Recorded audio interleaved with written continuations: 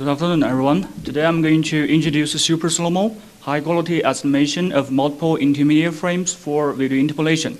This is joint work with my PhD advisor and NVIDIA researchers.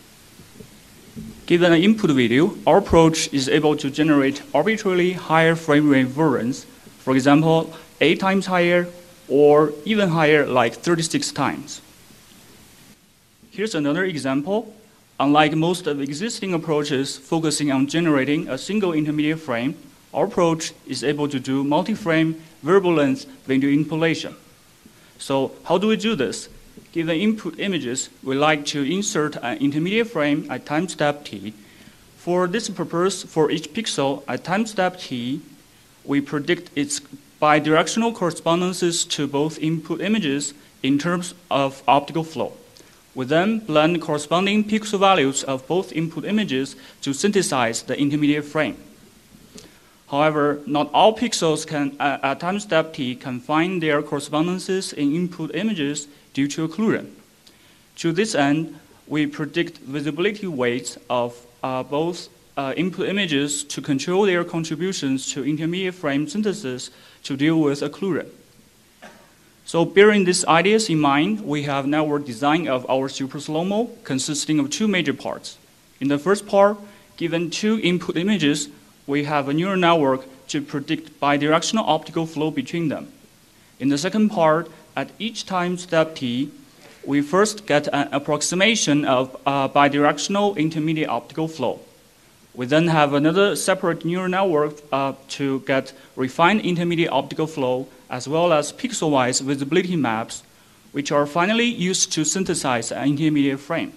Since none of the network's parameters is dependent on time step t, our approach is able to do multi-frame variable length video interpolation, generating as many intermediate frames as we want, using the same network without any modification.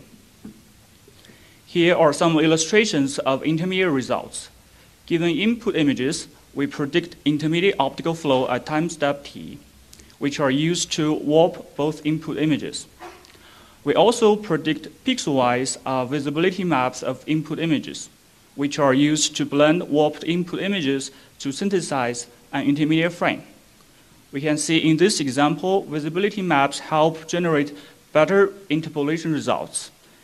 Especially around motion boundaries, the athlete's arms, there are less artifacts by using visibility maps. Now I'd like to show some quantitative results where uh, 31 intermediate frames are generated. The higher curve, the better it is. We can see our approach consistently generates better video interpolation results, outperforming all other approaches at each time step. Our approach is also able to train a neural network to compute optical flow in a self-supervised manner without using any ground truth annotations. Here are some visual results. We can see our approach generates good optical flow uh, between input images. To conclude, there are two key messages to take away.